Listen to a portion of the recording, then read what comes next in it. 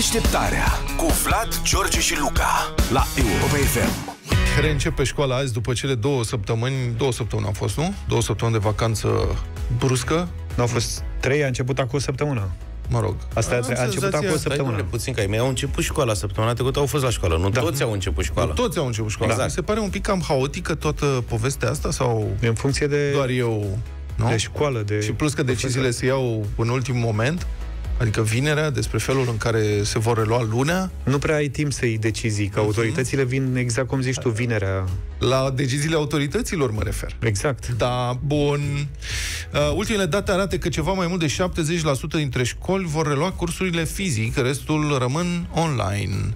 Criteriul de departajare este rata de vaccinare a angajaților din școlile respective. Peste 60% vaccinați, cursuri reluate fizic. Sub 60% online. Epidemiologii spun însă că această proporție, adică 60% dintre angajați, e mult sub ce ar însemna imunitatea de turmă în cazul variantei Delta, Asta ar fi minimum 86% vaccinați sau imunizați atât pentru angajați cât și pentru elevi. Deci suntem departe.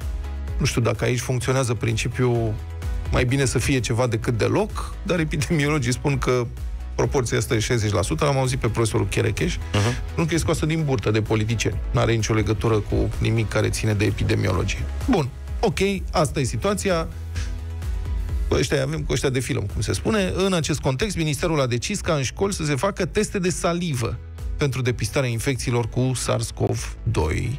Testele de salivă, am văzut, se vor face lunea și joia în toate școlile și grădințele, dimineața în clase de către profesori sau de către personalul medical, acolo unde există. Iar dacă sunt teste pozitive, vor fi anunțate autoritățile sanitare. L-am sunat pe uh, domnul Ilian Cristache, președintele Federației Naționale a Părinților, a Asociațiilor de Părinți. Bună dimineața, domnule Cristache! Bună dimineața, vă mulțumesc pentru invitație. Cu drag întotdeauna. Suntem, acum suntem în context pandemic decât. Cred că e mai bine de un an și jumătate de când suntem în context pandemic. Credeți că de data asta școala românească e mai bine pregătită să facă crizei pandemice, din ce simțiți dumneavoastră sau și din ce informații aveți? Nu, din păcate nu și din păcate nu știm să învățăm din trecut. Cum spunea și dumneavoastră, avem cel puțin un an și jumătate, ne apropiem de 2 ani de context pandemic și nu am reușit să luăm ce e bun din trecut, ba din contră stăm într-un continuu, uh, într-un continuu haos și nu înțelegem nici noi de ce Dumnezeului nu se găsesc niște decizii care să ajute într-adevăr să ne reîntoarcem la școală față în față. Cum? Cum? Drept dovadă, Da. da. cum spunea și dumneavoastră, uh, este într-adevăr o situație de context pandemic și haosul putem spune că este ajutat și din acest context. Dar, din păcate, deciziile care se iau la nivelul Ministerului Educației nu fac decât să accentueze acest haos și să creeze o lipsă de predictibilitate să creeze confuzie la nivelul unităților de învățământ, atât în rândul părinților și elevilor, cât și în rândul întregului corp profesoral. Și ați enunțat foarte bine dumneavoastră acea cifră din burtă, acea rată de vaccinare în rândul profesorilor, 60%, Uh, și exact cum uh, spunea și domnul profesor Cherecheș și domnul uh, doctor Jurma, uh, este o cifră care nu o să ajute cu nimic, ba din contră, în următoarea perioadă ne vom întoarce la aceeași amplitudine, eh, al, uh, amplitudine pentru acest val 4. Bun, bă, poate că o să ajute, nu știu, testarea asta cu salivă de două ori pe săptămână. Cum credeți că se va desfășura? Aici este o situație delicată și îmi fac datoria să uh, exprim de la început uh, ceea ce s-a întâmplat efectiv din martie anul curent. Noi în martie anul curent am făcut un uh, sondaj la care au răspuns peste 90.000 de părinți. A fost făcut uh, uh, având în vedere că în unele țări din vest, într-adevăr, aceste teste salivare erau folosite, deși ele nu figurau în acel moment uh, ca fiind teste avizate de către Comisia uh, Europeană prin direcțiile de specialitate. Dar totuși am pus întrebarea și am văzut, haideți dacă se poate la ei, de ce nu s-ar putea și la noi? Este adevărat că un număr foarte mare de părinți în acel moment uh, s-a, s-a opus la uh, aceste teste salivare, deși vor vine niște teste non-invazive. Mi-am făcut datoria, am transmis Ministerului Educației și am spus că peste două treimi dintre părinți nu-și doresc aceste teste salivare, dar având totuși convingerea că uh, mai devreme sau mai târziu vom fi obligați să apelăm uh, la ele și noi am considerat că ele ar trebui achiziționate astfel încât începând cu acest an nou școlar să le avem pe băncile școlilor, începând cu data de 1 septembrie sau 13 septembrie când a început școala. Nu le-am avut. E o anumită rezistență uh, din partea sindicatelor pentru folosirea acestor te- teste. Spun că e vorba de deșeuri medicale, că oamenii nu se pricep, că nu vor să contamineze. Uh, înțelegem că la aceste teste salivare nu vorbim de un act medical. Uh, eu, ca reprezentant al unui număr important de părinți, că nu am cum să reprezint toți părinții, trebuie să spun și acest lucru, uh, trebuie să găsim dialogul cu sindicatele pentru că nu ne ajută cu nimic acum să apar la dumneavoastră în emisiune și să spun, ho, profesor, cum puteți spune dumneavoastră așa ceva, că nu vreți să faceți testele.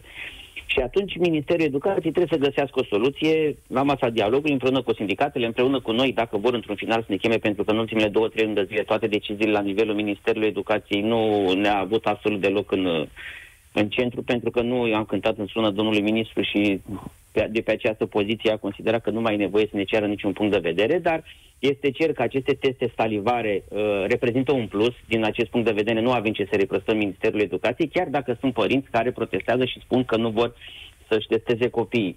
Personal nu înțeleg și bănuiesc că nici dumneavoastră nu înțelegeți de ce cineva s-ar opune la o testare, ci eventual poate să se opună la modul în care ele vor fi administrate și de către cine vor fi administrate. Astea sunt singurele semne de, de întrebare pe care ni le putem pune. Dar în rest, să spui că nu te că te opui la aceste teste salivare pentru că ar crea o falsă premisă și anume că uh, ți-ar obliga copilul să vaccineze, este o ipoteză falsă pe care noi nu o susținem, chiar dacă noi nu suntem pe poziții de colaborare în acest moment cu Ministerul Educației, dar trebuie să fim uh, corecți și să spunem că aceste teste salivare vor reprezenta un plus și trebuie să ne uităm la ceea ce se întâmplă afară, la testarea în masă. Da. Și în Franța știți foarte bine că sunt corturi amplasate în exterior și fiecare persoană poate să vaccineze pe banii statului, astfel încât să putem să uh, stârpim aceste focare de infecție. Bun. Acum mai am o întrebare. Care este opinia Federației Naționale pe care o conduceți? Credeți că certificatul verde ar trebui să devină obligatoriu pentru personalul didactic? Adică profesorii să nu poată intra fizic la clasă dacă nu au certificat verde valabil? Eu sunt o întrebare foarte grea și o să vă răspund la fel de sincer. Uh, acest certificat verde nu trebuie să se refere dacă, până la urmă, va fi implementat. Deci, prima întrebare este dacă trebuie implementat. Dacă trebuie implementat, sunt nicio formă doar în rândul profesorilor, ci la nivel societal. Dacă vrem să uh, târpim aceste focare de infecție. Pentru că profesorii reprezintă 300-350 de mii, o cifră infimă raportând la sistem național. Cu ce mă încălzește pe mine sau pe dumneavoastră că se vor vaccina în plus 50 de mii de profesori, oricum ei au o rată de vaccinare mult peste media uh, națională, peste media societății civile și nu rezolv problema. Pentru că într-o clasă vorbim de un profesor care predă la oră, dar sunt 30-35 de copii care provin din 35 de familii, respectiv 70 de părinți, dacă nu mai adăugăm și bunici și alte rude apropiate. Deci problema de uh, pașaport, în acest punct de vedere, de Green Pass, trebuie pusă la nivel național, dacă se pune, și au curajul să reglementeze din punct de vedere legal în Parlament. Altfel, este doar o găsenință și nu va duce decât la contre și la dezbinări între profesori și părinți. Gândiți-vă ce se întâmplă acum în mediul rural, acolo unde ratele incidențelor uh, sunt mici, unde profesorii vaccinați nu au un procent de 60% și uh, gândiți-vă cum se vor uita părinții la acești profesori. Nu avem nevoie de astfel de dezbinări, ba din contră avem nevoie de sprijin astfel încât să continuăm școala. Bun, mai am o întrebare. Pragul ăsta de vaccinare de 60% pentru angajații din școli este evident pe proprie răspundere, cum ar fi, s-ar spune, da? Ce părere aveți? Ar trebui menținut? Care ar fi condiția de reluare a școlilor uh, în format fizic? Pragul de vaccinare de 60% sau incidența sub 3 la mie? Că și aici o discuție.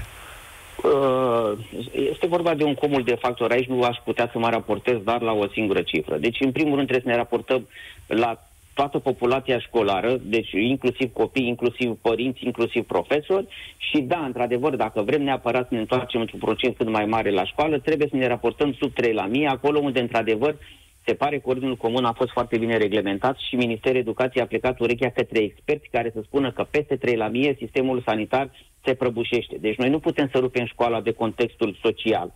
Nu mă încălzește cu nimic că eu creez obligativitatea să trimit copilul la școală, dar știind într-adevăr că sistemul sanitar se prăbușește, știind că eu, părinte, îmi trimit copilul la școală și există riscul să infecteze și dacă apelez la salvare salvarea va veni într-un interval foarte mare de timp sau dacă va veni într-un interval optim, va ajunge la spital și va avea ușa închisă la ATI. cum nu poți să te simți confortabil ca părinte într-o astfel de situație și bănuiesc că această presiune ajunge și la nivelul copilului, astfel încât să ducă la școală cu temerea că există riscul să infecteze. Mulțumesc foarte mult, Iulian Cristache, președintele Federației Naționale a Asociațiilor de Părinți, în direct în deșteptarea.